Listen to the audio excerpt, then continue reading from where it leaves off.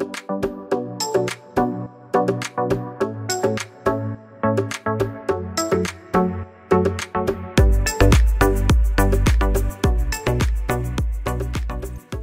guys, so here's that chair I did a review on. We brought it out for Bruno. I was going to do a giveaway on that, but then I thought, man, like Monkey said, it's kind of crappy. and I was like, well, somebody could probably use it for a kid, which they could. That'd be perfect for a kid or a dog this size. As you can see the difference in a regular chair and that thing.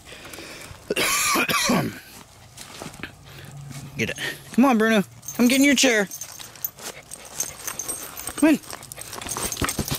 Come on. Get in your chair. Wrong chair. Really? See, the dog don't even want to use that thing. I guess I'm stuck with it. Well, we'll see. Here, let me let me put him on there.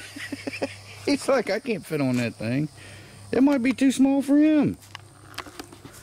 We're gonna go get some wood here in a, shortly. Come here. Come here. really? Get up, you just had a bath yesterday. Or day before. Can you sit on that? Now lay. Sit. Sit down. Sit on here. This is your chair. For you. Sit on here. Sit on here. Good boy. Good boy. Sit and stay. All right, we're going to get him used to it. Get up here. Now Good sit. boy. Sit. Sit. He's like, I am. That's all he can. Stay. Stay. Mommy sit Stay. first and you sit there. Stay. Now, stay. He'll get used to it. Stay. Good boy. Ah, ah, ah!